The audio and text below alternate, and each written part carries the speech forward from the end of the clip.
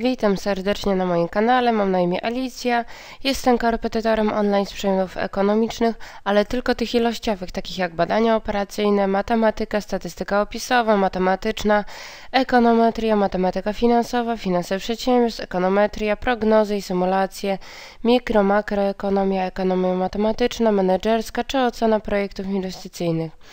Całość mojej oferty możecie znaleźć na stronie internetowej zadania myślnikprojekty.pl. Swojej e, pomocy udzielam studentom różnych polskich uczelni w zakresie rozwiązywania zadań na termin.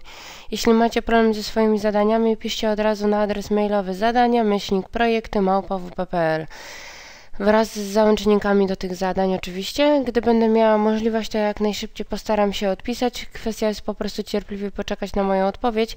Staram się mailować na bieżąco w miarę możliwości, a dzisiaj Wam chciałam pokazać, jak uzyskać rozwiązanie z zadania z przedmiotu mm, statystyka matematyczna z zakresu e, rozkładu zmiennej losowej, dokładnie rozkładu dwumianowego. E, musimy sobie powiedzieć, że rozkład dwumianowy, może inaczej, przygotowałam zadanie, które powinno pokazywać w miarę to, co jest nam potrzebne.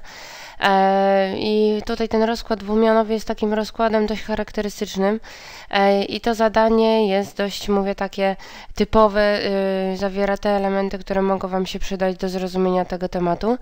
A mianowicie, y, chodzi o to, że rozkład dwumianowy jest takim rozkładem, gdzie albo zdarzenie zachodzi, albo nie zachodzi. To jest przykład y, rozkładu skokowego, który przyjmuje tylko wartości jakby e, całkowite, nie ma nic pomiędzy. Albo albo zdarzenie ma miejsce, albo nie ma miejsca. Albo urodzi się jedna dziewczynka, albo dwie dziewczynki, ale nie ma możliwości urodzenia półtorej dziewczynki. E, więc jest to rozkład skokowy, bo punktowo e, przyjmuje wartości, a nie wszystkie ciągłe po kolei możliwe wartości. I teraz e, zwróćcie uwagę tak. Zadanie z następującej treści. Prawdopodobieństwo urodzenia się dziewczynki wynosi 0,48, czyli 48% szans jest na to, że urodzi się dziewczynka z ciąży. E, zmiana losowa przyjmuje wartości równe liczbie dziewczynek w rodzinie o trojgu dzieci. I po kolei mamy określić, jaki jest rozkład prawdopodobieństwa tej zmiennej, określić dystrybuantę tej zmiennej losowej, narysować wykres e, i obliczyć wartość oczekiwaną, czyli krótko mówiąc tak w średnią. Musimy wyjść od tego, że jeżeli jest powiedziane, że e, mamy obliczyć jakieś tam parametry, jakieś elementy rozkładu e, zmiennej losowej, to trzeba wiedzieć na początek, jaki mamy rozkład, e, jaki, jaki, jakiego rodzaju. Bo mamy rozkłady, może e, jeżeli macie taką listę, na pewno zajrzyjcie do niej. E, mamy rozkłady zmiennej skokowej i ciągłej. Tutaj e, na początek ja rozpoznałem, czy to jest rozkład skokowy, czy e, ciągły. Trzeba zauważyć, że to jest liczba urodzonych dziewczynek, czyli e, mamy albo brak dziewczynek, 0, albo jedna dziewczynka, dwie dziewczynki, trzy dziewczynki, bo mamy rodzinę o trójce dzieci.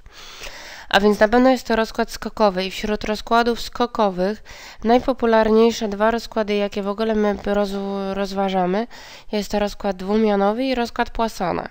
Tylko się mówi, że rozkład Poissona e, jest rozkładem o niskim mm, prawdopodobieństwie pojedynczego zdarzenia, około 5-10% maksymalnie.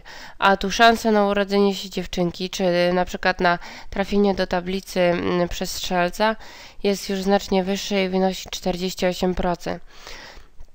Mm, dodatkowo w rozkładzie Poissona często liczba e, powtórzeń, jakie mogą maksymalnie zajść, jest, e, domówimy, że jest nieskończenie wiele.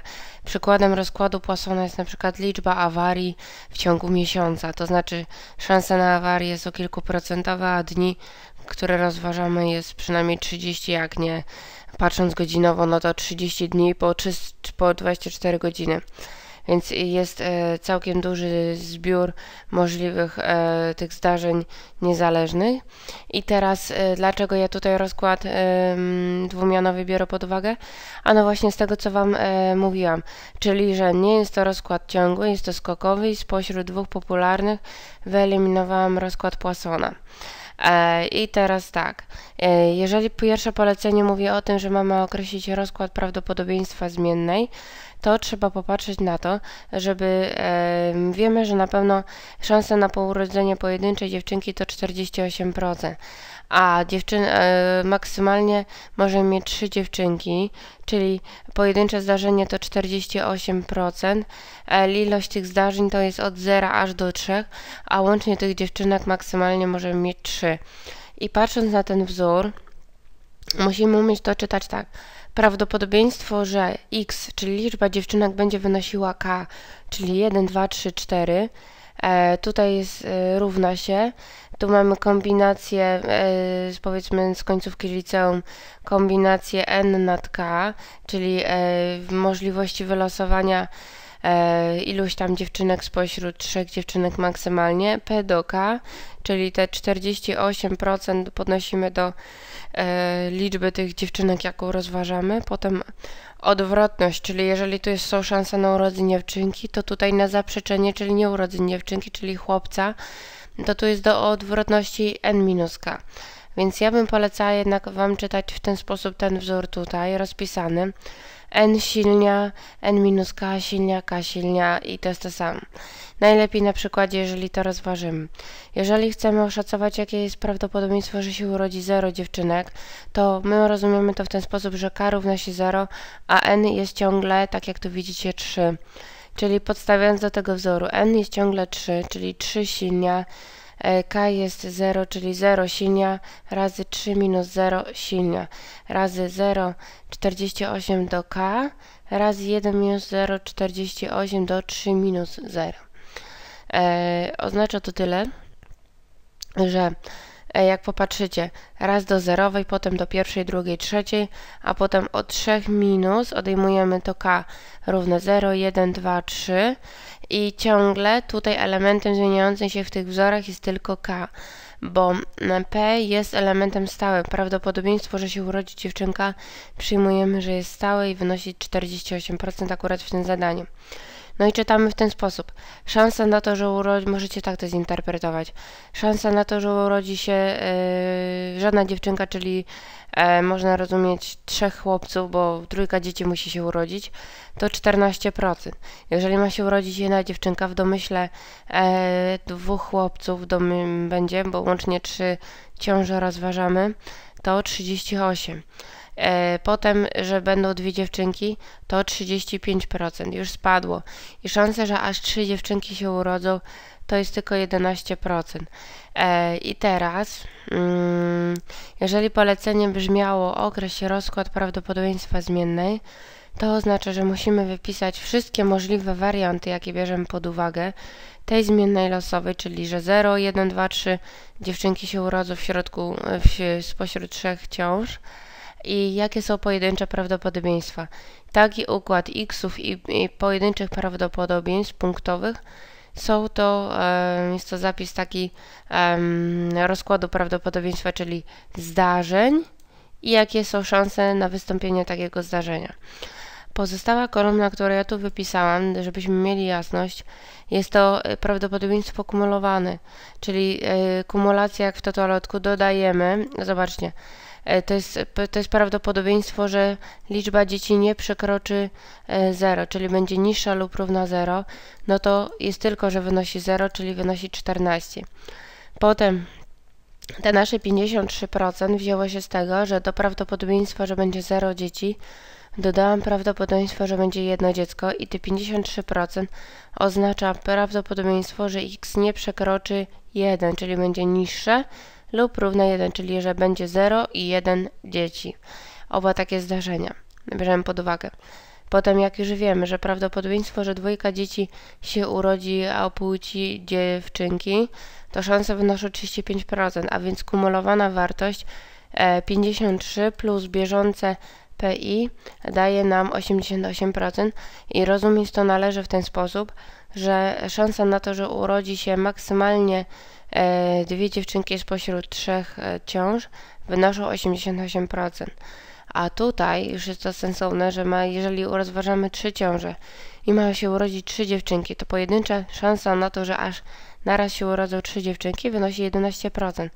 Ale szansa na to, że wśród trzech ciąż e, urodzi się maksymalnie trzy dziewczynki, to jest 100%.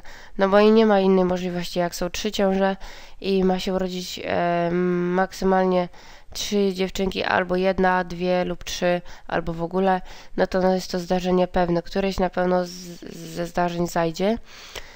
I teraz to, co mówiłam Wam, e, to na pewno będzie podpunkt B, e, ale jeszcze tutaj sobie omówmy, że po prostu P i to jest po prostu pojedyncze prawdopodobieństwo. Pamiętać trzeba na pewno o tym, że suma prawdopodobieństw w każdej e, rozkładzie zmiennej losowej, niekoniecznie tylko w rozkładzie dwumianowym, wynosi zawsze suma 100%, czyli suma od pierwszego zdarzenia do ostatniego dla wszystkich prawdopodobieństw musi dawać 1, czyli wszystkich zdarzeń mm, prawdopodobieństwa wszystkich zdarzeń. Jeżeli polecenie brzmi kolejne, określ dystrybuantę zmiennej losowej, narysuj jej wykres, to w formie tabelarycznej rozkład e, dystrybuanty jest następujący. Tak wyglądają xy, a tak wygląda dystrybuanta zapisana w formie takiego pisania, że to jest kumulowane pi. Jeżeli chcemy zapisać dystrybuantę, mm, to w tym momencie piszemy ją następująco. Piszemy duża literka f od x, bo tak opisujemy dystrybuantę, wypisujemy wszystkie wartości i piszemy, że to jest dla x mniejszego od 0, to w ogóle nie ma 0. Potem od dla x, który ma nie przekroczyć 0, y, to jest 14. Dla x, który ma nie przekroczyć jedynki, to musi być 53. E, nie przekroczyć 2 i przekroczyć 3 to na pewno lub mu jest równe, no to jest po prostu 1, czyli tak jak tłumaczyłem. E, jeżeli mamy narysować wykres dystrybuanty, oczywiście, że te słupki można ze sobą połączyć, żeby były blisko. E, I teraz na każdej osi xów oznaczamy wszystkie możliwe warianty, że 0 dzieci, 1, 2, 3, trójka dziewczynek, a na osi y odnosimy kolejne wartości e, dla naszej dystrybuanty. Ile to wynosiło? Że do y, zera mamy 0,14, dla, że dla y, do jedynki mamy 53 i tak dalej. To jest wykres dystrybuanty.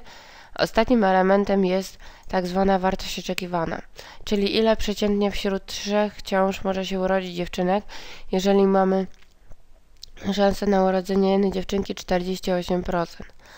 E, to jest 1,44 i co to nam faktycznie daje? E, no po prostu można tak to zinterpretować, ale zwróćcie uwagę na wzór. E, jeżeli weźmiecie jakąkolwiek listę ze zmiennymi losowymi, w każdym z tych rozkładów powinno być napisane jak się liczy tak zwane parametry. Podstawowe to średnia wartość oczekiwana i odchylenie standardowe w rozkładzie. W przypadku rozkładu dwumianowego, gdy już wiemy, że zmienna posiada rozkład dwumianowy, stosujemy ten wzór, który jest zaznaczony i faktycznie jak widzicie trzeba po prostu przemnożyć n razy p, czyli tą maksymalną liczbę powtórzeń jaka może zajść i szansę prawdopodobieństwo pojedynczego zdarzenia. Wydaje się to dość e, jakby powiedzmy intuicyjne, ale w przypadku innych rozkładów można mieć wątpliwości, czy to tak występuje, więc e, korzystajcie z takich ściąg, z takich list e, z charakterystykami, z parametrami wszystkich rozkładów i ułatwi to Wam naukę. Także ja na tym kończę omawianie tego zadania. Gdybyście potrzebowali się ze mną skontaktować, to mailujcie od razu na adres mailowy zadania myślnik projekty PL. Y, załączajcie od razu swoje zadania, pliki. Będę mogła to od razu odpiszę. Rozwiązujcie jak najwięcej zadań. Komentujcie wszystkie moje filmy. Może Wam e, któryś bardziej przypadł do gustu, inny mniej. Subskrybujcie kanał, udostępniajcie swoje, moje filmy swoim znajomym. Może komuś to się przyda. I korzystajcie z całej tej udostępnionej przeze mnie wiedzy. Ja Was serdecznie pozdrawiam i życzę powodzenia w nauce.